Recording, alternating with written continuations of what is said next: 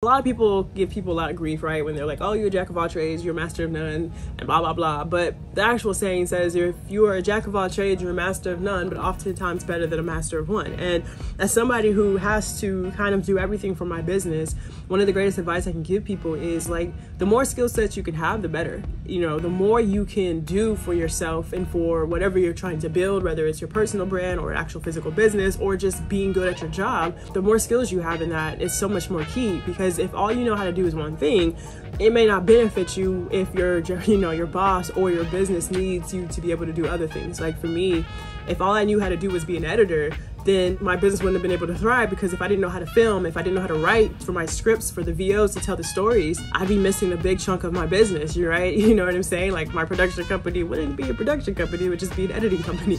And so what I realized is oftentimes when we have more skill sets, it only benefits us, especially when you're in the beginning stages of business. Like I can't afford to pay a videographer and an editor and a website designer and a writer. Like I can't afford those things. So I am not gonna wait till I can afford those things to start my business. I gotta be able to do it myself. And so the more skills you have, the better it is for you because now you can create so much and do so much for yourself and for whatever you're trying to do.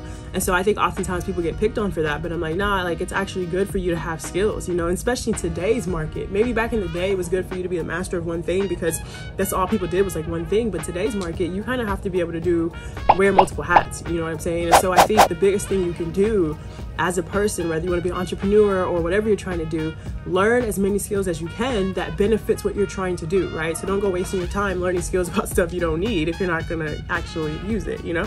But learn skills about things that you do need um, because it'll benefit you. And for people who are like, well, I don't know, I can't learn because I don't have access to this or that, you know, I learned how to do a lot of my stuff through YouTube University. Like I got a whole degree from a college that I went to and, you know, big up to the college, but majority of how I learned how to edit and film was through YouTube. Like it, I went to school, paid all this money, but it wasn't the school or the money that I spent that taught me how to become an editor. It gave me the beginning basics. Like it, it entered me into the door of like, hey, if you want to do this world, these are some skills you might want to learn. But I had to go watch YouTube videos, and so I started watching like Peter McKinnon, and I started watching just different artists and different people who did what I did um, who were teaching. Like there was kids that I was watching. Like there was like these 12 year old boys, 14 year old boys who were like teaching me how to do like After Effects, like really cool graphics in After Effects, like fire flame stuff. And like, and I had no shame because at the end of the day, I just needed to learn the skill. And whoever can teach it to the best of his ability, especially back then, you know, people were still growing on this whole teaching thing on,